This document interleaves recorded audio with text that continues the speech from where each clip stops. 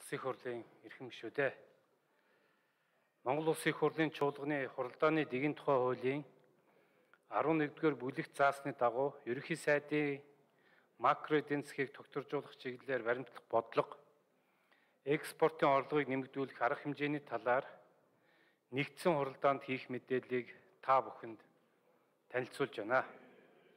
Уг танилцуулгад нэгдүгээрт макро эдийн засгийн өнөөгийн нөхцөл байдал тулгамдж буй асуудлууд. Хоёрдугаарт богино хугацаанд экспортын орлогыг нэмэгдүүлэх чиглэлд авч хэрэгжүүлж буй арга хэмжээний талаар.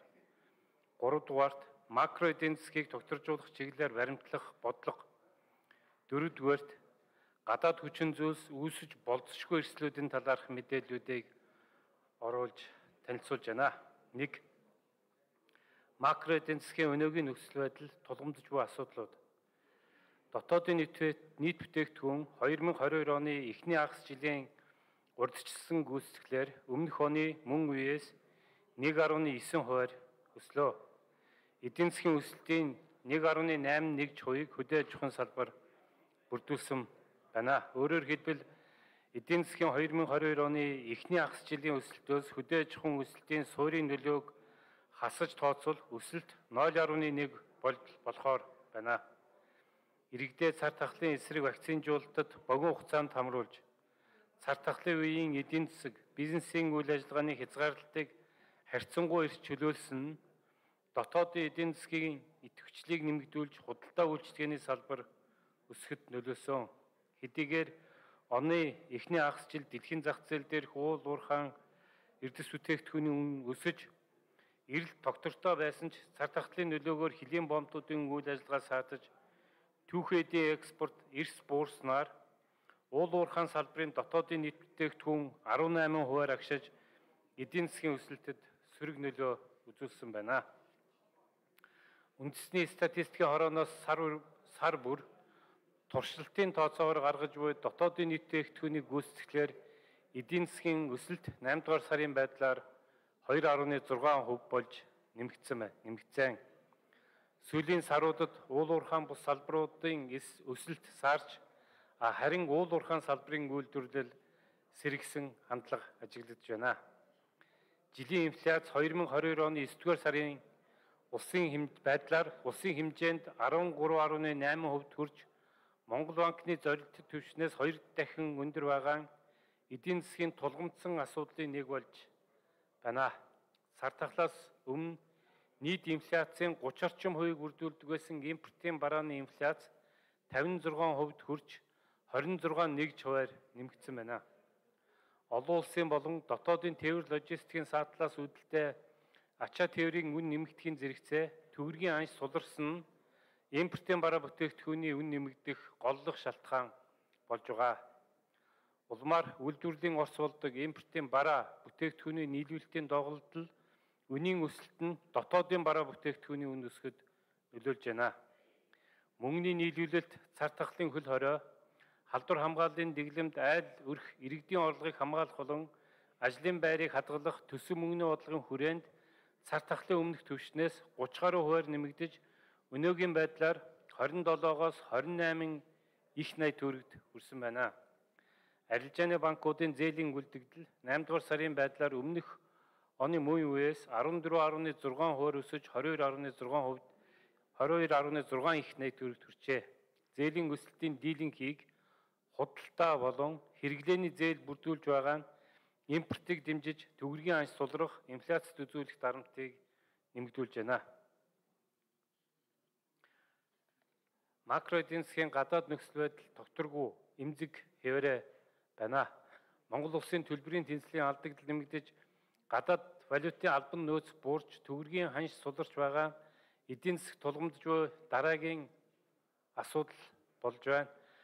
Төлбөрийн тэнцлийн алдагдал 2022 оны эхний 8 дугаар сарын байдлаар 1.5 тэрбум Америк долларт хүрчээ.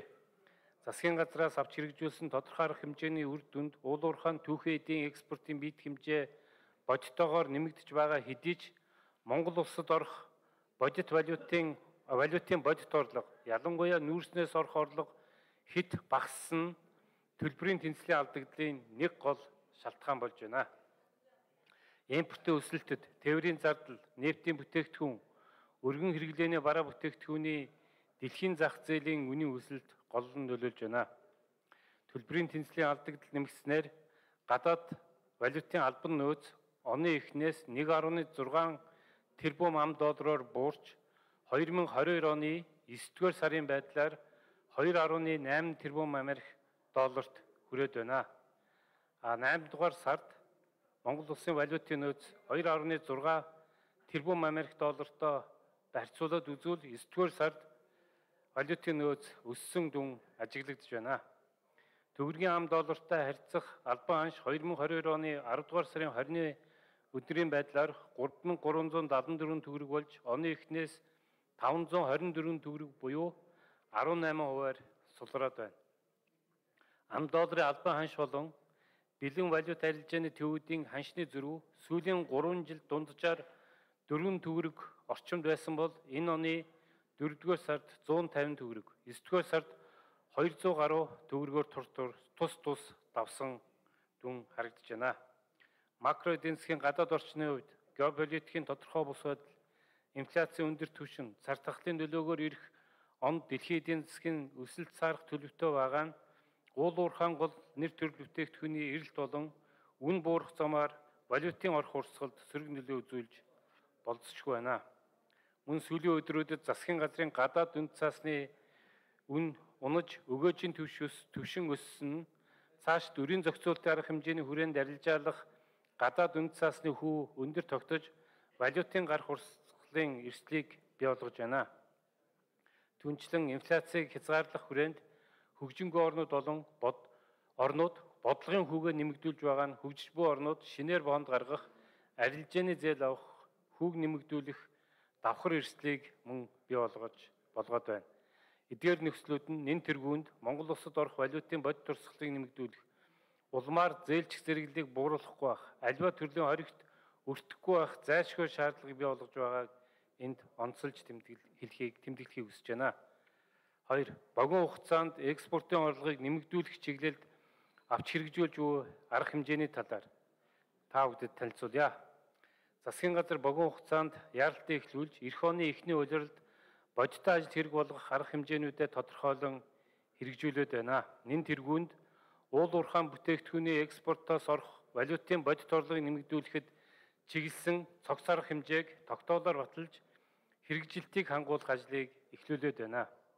Дээр дурдсан уулуурхаан түүхий эдийн экспортын бит хэмжээ бодитоор нэмэгдэж байгаа хэдий ч Монгол улсад орох валютын бодит орлого ялангуяа нүүрснээс орох валютын бодит орлого хэд бага байгаа нь төлбөрийн тэнцлийн алдагдлыг нэмэгдэх нэг гол шалтгаан болж байна. Гайлын ерөнхий газрын албан мэдээгээр 2022 оны эхний 8 сарын байдлаар уул уурхаан экспортоор тэргүүлэгч 10 компани гайлд бүртгүүлсэн экспортын дүн нь 5.5 тэрбум Америк доллар байгаа боловч Монгол банкнаас гаргасан тайлан мэдээгээр эдгээр компаниудад 2.9 тэрбум ам доллар валютын бодит орлого орж 2.6 тэрбум ам долларын зөрүү үүссэн байна. Энэхүү 2.6 тэрбум долларын 2.3 тэрбум ам доллар нь нүүрс экспортлагч дөрвөн аж ахуй нэгжид хамаарч байгаа. Энэхүү зөрүүг үүсгэж байгаа дөрвөн шалтгаан нэгдүгээрт ашигт малтмалын борлуулалтын орлогыг өнгөрсөн онуудад урьдчилан авч зарцуулсан. Хоёрдугаарт төсөл хөтөлбөр хэрэгжүүлэх болон хөрс суултын ажлын төлбөрийг мөнгөөр биш ашигт малтмалаар барагдуулж байгаа. Гуравт гайлын статистик мэдээг жишг үн ашиглан бүртгэгдэлтэй бүртгэгдэлтэй холбоотой бүртгэлийн зөрүү. Дөрөвт нүүрсийг зах зээлийн бодит үнээс доогуур борлуулсан зэрэг байна. Эдгээр шалтгаануудыг арилгах тогтолцооны шинжилэл бий болгох болон богино дунд хугацаанд валютын бодит орлогыг нэмэгдүүлэх цогц арга хэмжээнүүдийг тусгасан засгийн газрын тогтоол батлагдаж хэрэгжилтийг хангуулах ажил эхлээд байна. Тухайлбал ашигт малтмалыг олборлох, боловсруулах, тээвэрлэх, хадгалах зэрэг бүх дамжлагуудад төлбөрийн баримт үүсгэх, холбогдох гэрээнүүдийг гайл татврын нэгдсэн цахим системд бүртгэгдэх тогтолцоог бүрдүүлнэ. 2023 оны 1-р сарын 1-ний өдрөөс зөвхөн энэ тогтолцоонд бүртгэгдсэн ашигт малтмал экспортлогдох боломжтой болно. Ашигт малтмалыг нээлттэй дуудлага худалдаагаар борлуулах уул уурхайн биржийн тогтолцоог 2023 оны 1-р улиралд багтаан нэвтрүүлнэ. Ашигт малтмал олборлох тусгай зөвшөөрөл эзэмшигч нь ашигт малтмалыг хөлийн хөлийн үнээр борлуулж ачаа тээврийн хил нэвтрэх зөвшөөрлийг өөрсдөө мөн олгодог болно. Монгол улсын нутаг дэвсгэрт хийгдэж буй хөрс хуулалт, олборлолт, тээвэрлэлт зэрэг бүхүйлийн үйл ажиллагааны төлбөрийг үндэсний мөнгөнд тэмдэгтээр гүйцэтгүүлж төлбөр тооцоог үндэсний мөнгөнд тэмдэгтээр гүйцэтгэх тухай хуулийг хэрэгжилтийг хангуулна. Төрөмчт компаниуд засгийн газрын шийдвэргүйгээр төлбөрийг ашигт малтмал түүхий эдээр төлөх нөхцөлтөө гэрээ шинээр байгуулахыг хориглож өмнө нь хийгдсэн ашигт малтмалын борлуулалт хөрөнгө оруулалт, худалдан авалттай холбоотой нууц гэрээ хилцээрийг нууцаас гаргаж ил тод болгоно. Төрөмчт компаниудын төлбөрийг ашигт малтмал түүхээ дээр төлөх нөхцөлтэй гэрээ төлбөрийг урдчлан авч ашигласан гэрээ төлбөр нь энэ даруй хийгдэх гэрээнүүдийн ачилт, тээвэрлэлт, экспортыг валютын бодит орох урсгалыг нэмэгдүүлэхээр оновчтой зохион байгуулах зэрэг төлөвлөгөөг төлөвлөгөөт үүрэг даалгавруудыг өгөгдсөн болно. Мөн гадаад валютын орох урсгал, валютын улсын нөөцийг нэмэгдүүлэх чиглэлээр ашигт малтбал олборлолтын тусгай зөвшөөрлөд эзэмшигч эзэмшигч нарын олборлолт, экспортын тасралтгүй үйл ажиллагааг хангахад дэмжлэг үзүүлж хамтран ажиллана. Тус тогтоол батлагдсанаас хойш сүүлийн 2-7 хоногийн хугацаанд нийт 260.6 сая ам долларын гадаад валютын орлого орж нийт валютын нөөцийг нэмэгдүүлсэн эрг үр дүн гарч байна. Дээрх цаашид уг тогтоолын хэрэгжилтийг бүрэн хангуулж төлөвлөсөн арга хэмжээг нүүдийг хэрэглэснээр 2023 оны эхний хагас жилдээ багтаан төлбөрийн тэнцэлд үүсээд буй гадаад валютын аншийн дарамтыг бууруулах боломж бүрднэ гэж төсөөлж байна. 3. Макро эдийн засгийг тогтворжуулах чиглэлээр баримтлах бодлого. Засгийн газраас 2023 оны төсвийн төслийг өргөн барихтаа богино хугацаанд яаралтай эхлүүлж өр нөлөө нь 2023 оны сүүлийн хагас жилийн эдийн засгийн үзүүлэлтүүдэд эерэг өөрчлөлтүүд бий болгох болон дунд хугацаанд үе шаттай хэрэгжүүлэх бодлогын арга хэмжээнүүдэд тодорхойлж төсвийн төсвийн төслийн танилцуулгад тусгасан. Эдгээр бодлогын арга хэмжээнүүдийг бодитоогоор хэрэгжүүлснээр эх онд эдийн засгийн өсөлтийг 5% түргэх, инфляцийг Монгол банкны зорилт түвшин болох 8% түргэх, хөдөлмөрийн зах зээлийг цар тахлын өмнөх түвшинд хүргэж сэргээх төсөөлөл төлөвлөгөөтэй байна. Энэ хүрээнд хэрэгжүүлэх бодлогын арга хэмжээнүүдийг онцлон дурдвал 1. Макро эдийн засгийн доктортой байдлыг хангах төсөв мөнгөний хатуу бодлогыг хэрэгжүүлэх шаардлагатай байна.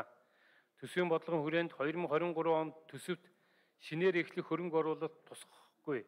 Төсвийн алдагдлыг 2022 онд батлагдсан түвшнээс буруулж дотоодын нийт нийт бүтээгдэхүүний 2.8%-тэй тэнцэх хэмжээнд хязгаарлах замаар төсвийн хаттуу бодлогыг хэрэгжүүлнэ. Төсөв мөнгөний бодлогын уялдааг хангах хүрээнд мөнгөний бодлогыг ч чангаруулах шаардлагатай.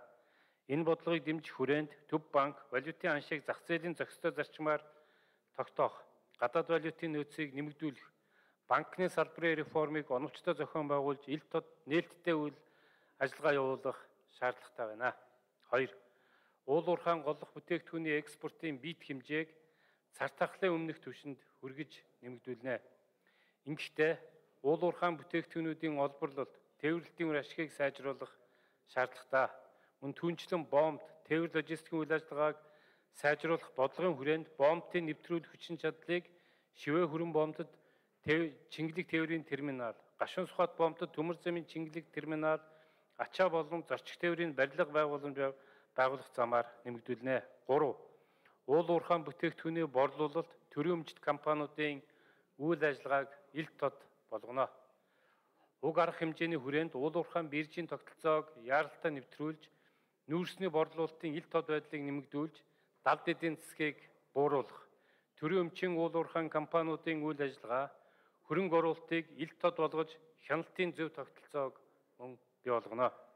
4. Уул уурхай хөдөө аж ахуйн бүтээгдэхүүний боловсруулалтын түвшнийг нэг шат ахиулна. Энэ хүрээнд уул уурхайн салбарт газрын тос боловсруулах үйлдвэр, зэсийн баяжмал боловсруулах үйлдвэр, гангийн үйлдвэр, нүүр сойжуулах үйлдвэр, хүнс болон хөдөө аж ахуйн гаралтай бүтээгдэхүүнийг боловсруулах төслүүдийн хэрэгжилтийг эрчимжүүлнэ. 5. Эдийн засгийн хөгжлийг хязгаарлаж буй эрчим хүч, тээвэр, санхүүгийн салбаруудад либералчлал реформыг үе шаттайгаар хэрэгжүүлж эхэлнэ. Эрчим хүчний салбарт хэрэглэгчд өөрийн хэрэглээндээ тохируулах хийх боломжийг олгож, цахилгаан дулааны зохистой хэрэглээг дэмжсэн ухаалаг, шудраг, зөв төлбөрийн тогтолцоог бий болгох арга хэмжээ авч хэрэгжүүлэх замаар либералчлалыг үе шаттай хэрэгжүүлнэ. Тэврийн салбарт төмөр зам, агаарын тэврийн либералчлалыг хэрэгжүүлэхийн зэрэгцээ нэгдсэн зохион байгуулалт, үйл ажиллагааг сайжруулах, аж ахуйн нэгж, хувийн хөвшилд мэдээллийг нээлттэй болгосноор бизнес үйл ажиллагааны төлөвлөлтөө зөв тодорхойлох боломжийг боломжууд бий болгосон болгоход чиглэсэн арга хэмжээнүүдийг мөн авч хэрэгжүүлнэ. Банкны салбарын реформ, өрсөлдөөнийг дэмжих хүрээнд гадаадын банк Монгол улсад салбараа нээх процессыг хэлбэршүүлж санхүүгийн салбарт өрсөлдөөнийг дэмжсэн зөв тогтолцоог бүрдүүлэх шаардлагатай. 6 хувийн хөвшил, бизнесийн үйл ажиллагааг дэмжинэ.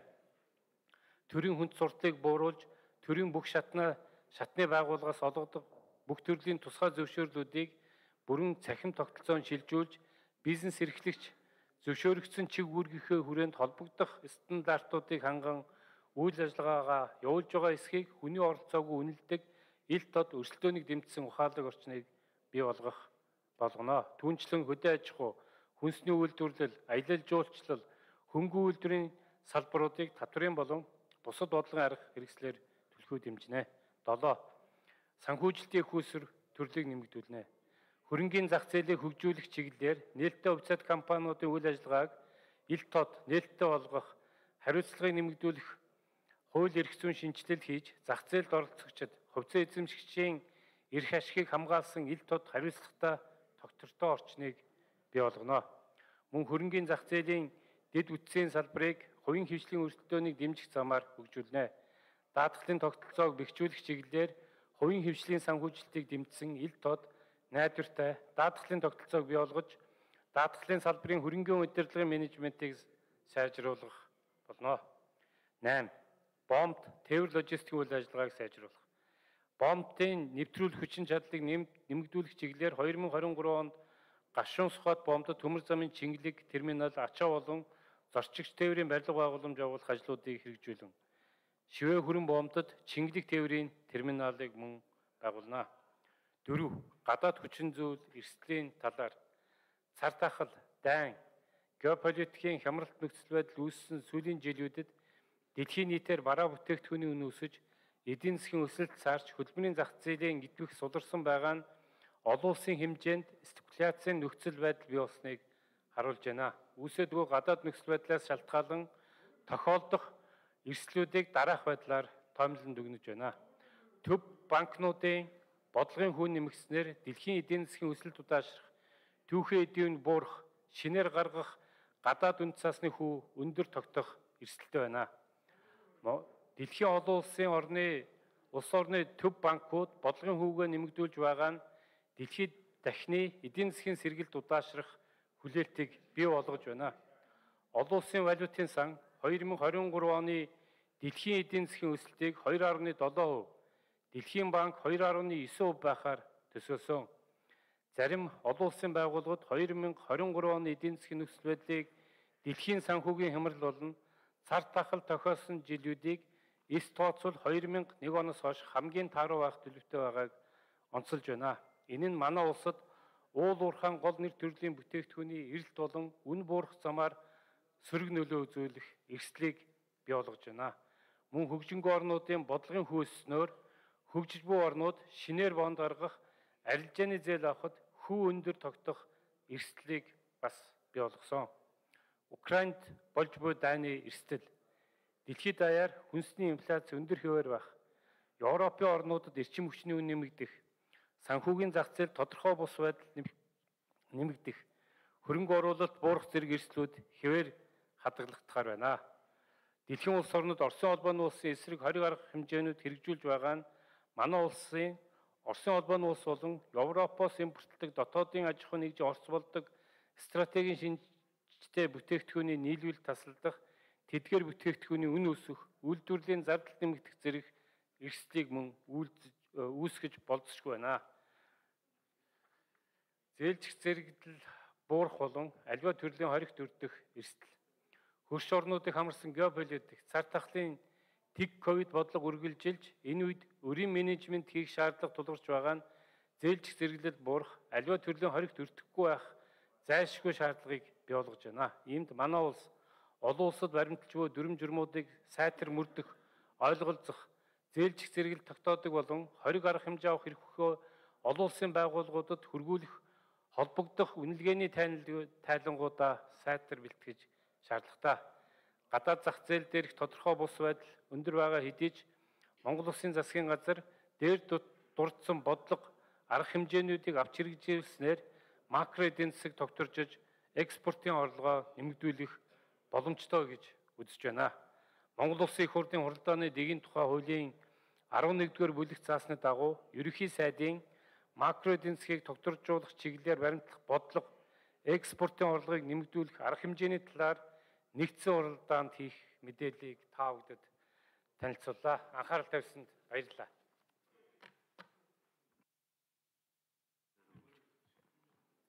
За зочин танилцуулъя.